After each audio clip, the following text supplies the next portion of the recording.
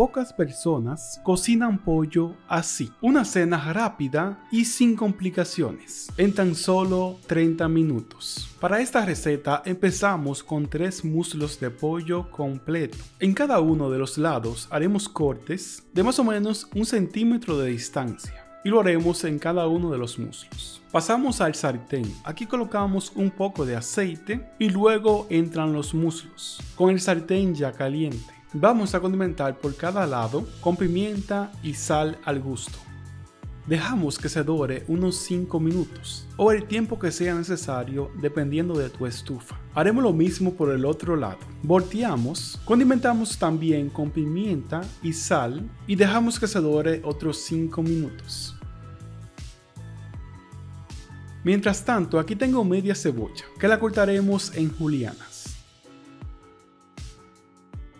También dos tomates o uno grande. Este lo picaremos en cubitos. Aprovecha para que me cuentes en los comentarios de dónde me estás viendo, para saber qué tan lejos llegó mi video. Y una vez esté frito por ambos lados, agregaremos nuestra cebolla y también unos 3 dientes de ajo picados. Los saludos de este video son para Patricia Cáceres desde Chile y también para Alejandro Pérez desde Argentina. Si te va gustando el video no olvides dejar tu comentario y compartirlo con tus amigos y si quieres tu saludo en el próximo video.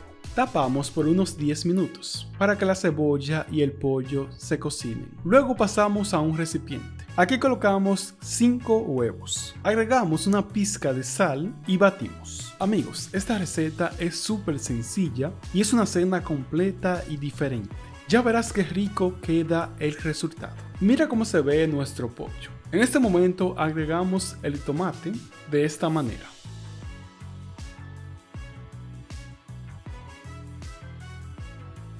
y luego agregamos el huevo solamente encima de los tomates y no sobre el pollo.